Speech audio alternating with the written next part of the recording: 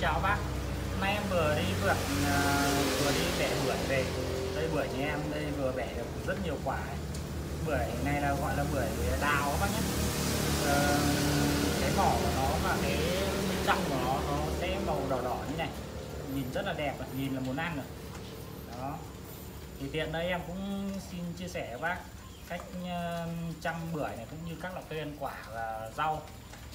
Thì đối với cây bưởi nhà em này thì em ờ, ở giai đoạn đầu thì em tưới tưới cái phân hữu cơ này cái phân ờ, hữu cơ ờ, này một cái gói này thì các bác pha được cho 250 lít nước để các bác tưới gốc thì 250 lít thì nó rơi khoảng hơn 10 cái xô xanh này. cái xô này là 18 lít này.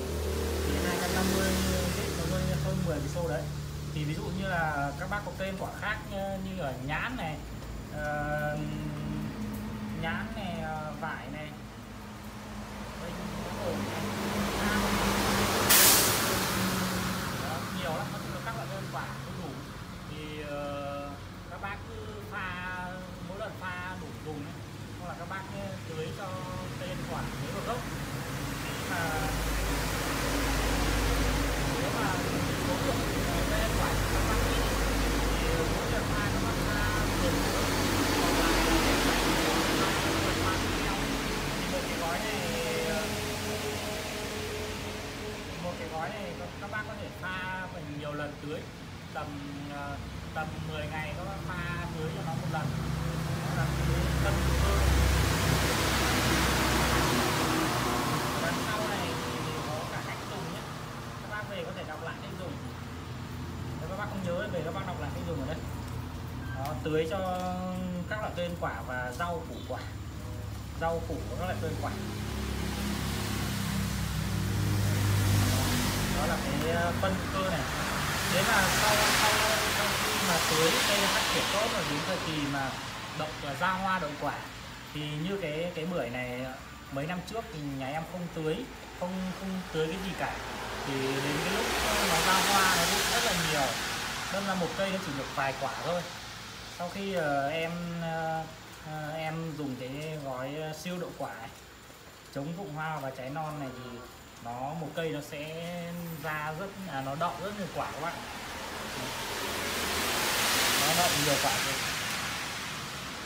Nó hạn chế cái rụng trái non.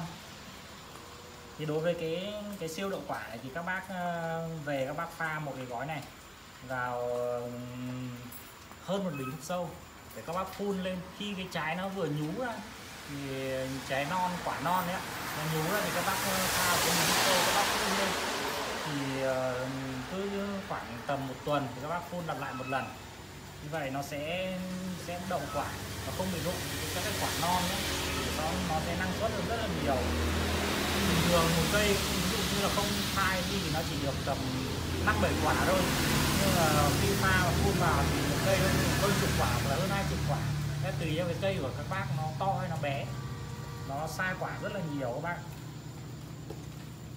Đây, gói này cái này dùng được cho các loại cây ăn quả các bác nhé cây như na này như, vải này nhãn này ổi này ờ, dưa hấu này dưa chuột này ngô này. nhiều lắm các bác các loại cây ăn quả đều dùng được hết này. đó thì bên em có có các loại vật tư như là phân bón hữu cơ đây để tưới cho rau củ và các loại quả và bên em còn nhiều các loại phân hữu cơ cho hoa nữa, hoa cây cảnh nữa và cái kích ờ, rễ kích kích ờ, nảy mầm kích đỏ hoa và cái kích đậu quả này. Và các loại túi bầu túi bầu PE và túi vải và các loại vật tư để trồng cây khác thì bên em đều có đủ cả. Thì bác nào có nhu cầu thì liên hệ với em theo số điện thoại là 0375 524 180 ạ. Số điện thoại em dùng cả Zalo các bác nhé.